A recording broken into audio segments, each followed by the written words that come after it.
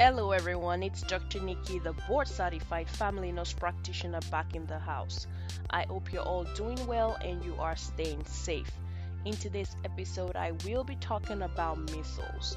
Measles is a very contagious disease, very common in children.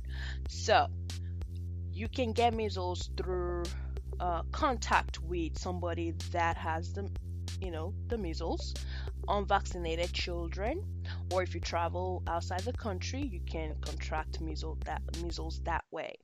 All right so we'll talk about the symptoms of measles and then we'll talk about the prevention.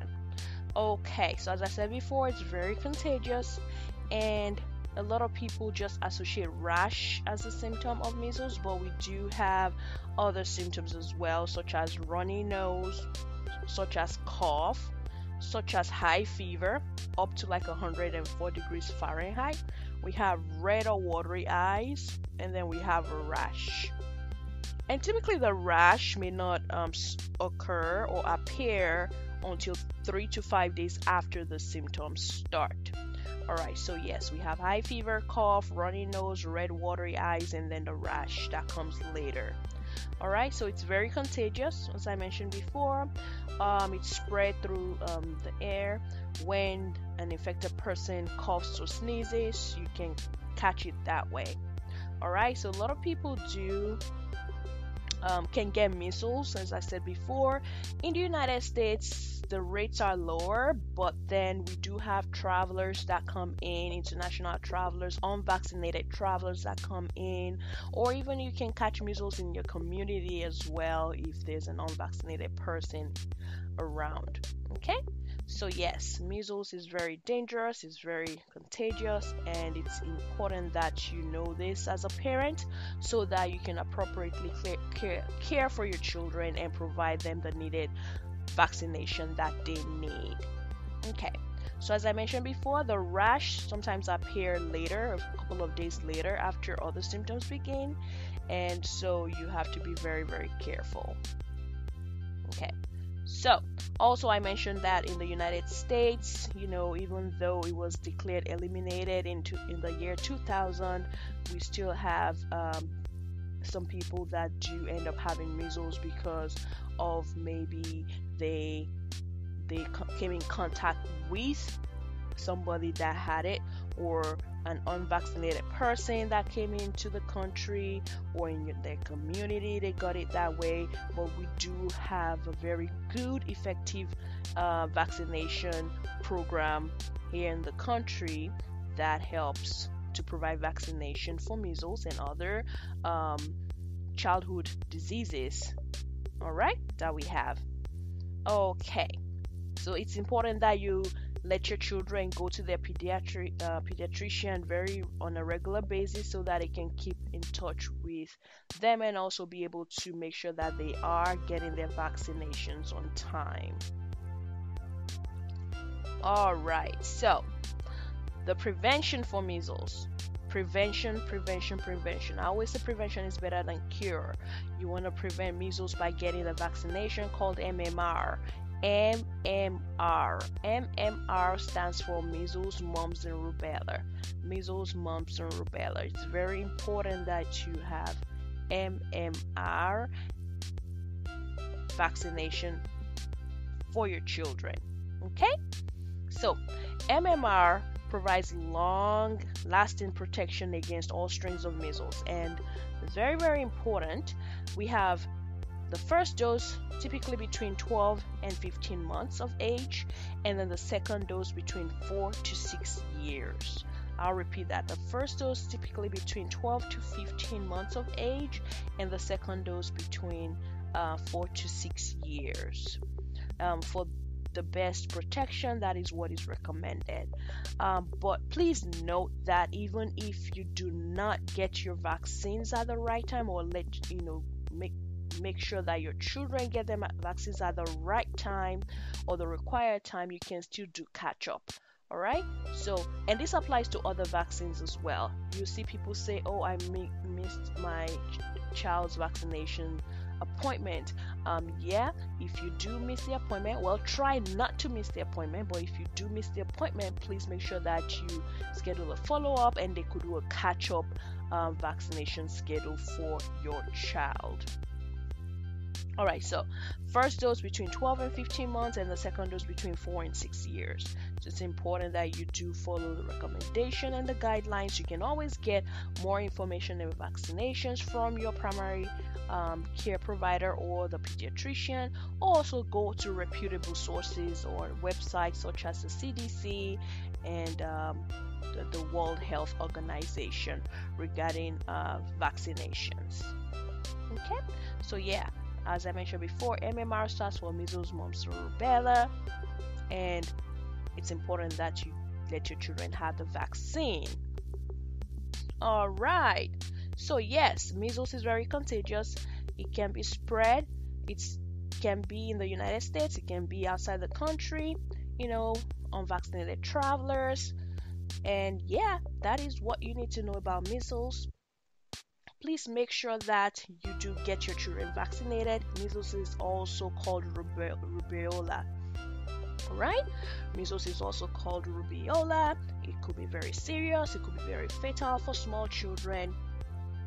And um, yeah, you should please get vaccinated. Get your children vaccinated. Make sure that you observe for symptoms of measles, as I mentioned before fever up to 104 degrees Fahrenheit, dry cough, runny nose, sore throat, you know, red or watery eyes, which is also known as conjunctivitis. You can also have, you know, white spots with bluish white centers on the red background found inside your mouth. It's called Koplik spots. Okay, Koplik spots, and then we have the rash that I said um, appears a couple of days after the symptoms begin. So, it's very important that you observe for these signs and symptoms and you keep your children away from other people. All right, you keep your um, children away from other uh, people when they when you observe symptoms because we do have a communicable period.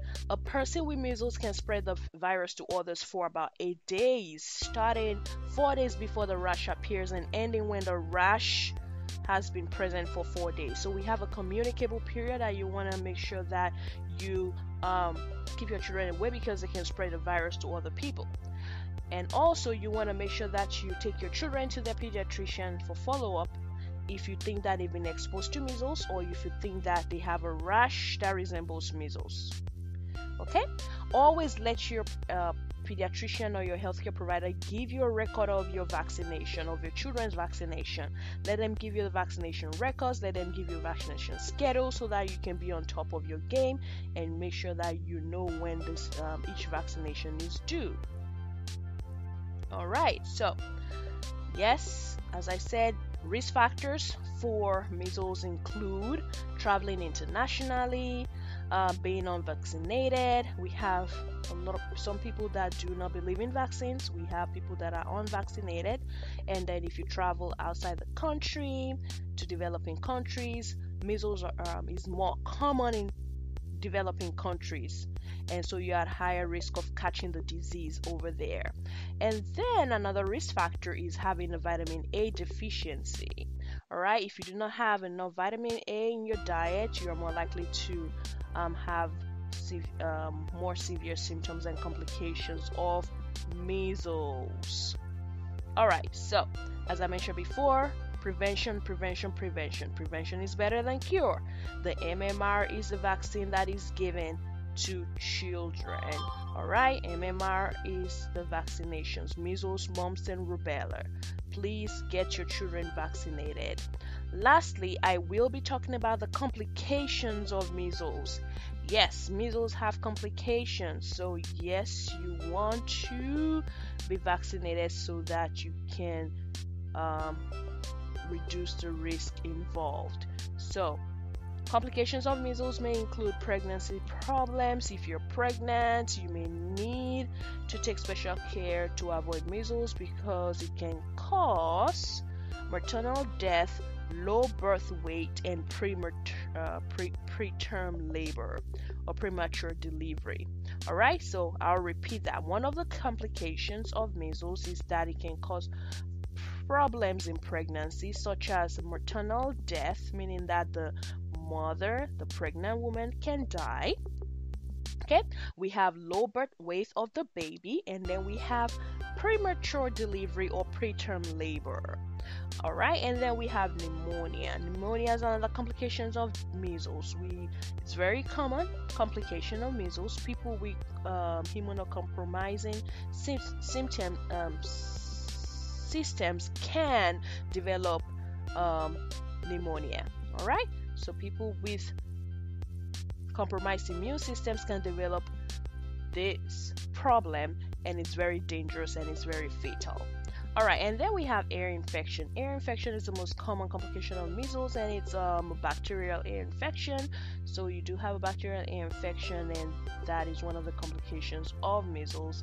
And then the last one is uh, bronchitis, laryngitis, or croup.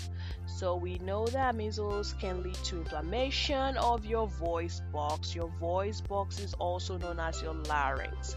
Your voice box is also known as your larynx, so measles can lead to inflammation of that voice box and cause inflammation of the inner walls that line your air passages, um, which is your bronchial tubes. So, yeah, see, measles have complications, so it's important for you to get vaccinated with MMR vaccine. Okay? So, yeah, as I said before, the first dose is typically given between 12 and 15 months of age, and then the second dose is typically given between 4 to 6 years of age. So, please talk to your doctor if you're concerned. If you have any questions or concerns about your child, talk to their pediatrician, talk to your healthcare provider, and they will be able to guide you appropriately. All right, so vaccinate, vaccinate, vaccinate, and also isolate your child if you know that if you think that they have been exposed or if you think that they are breaking out in a rash that is related to measles. All right, thank you very much. And um, I hope this helps. I can spread this to other people, friends, and family so that they know about measles and their children. And I will catch you in the next one. Take care of yourself, continue to stay safe, and I wish you well. Bye bye.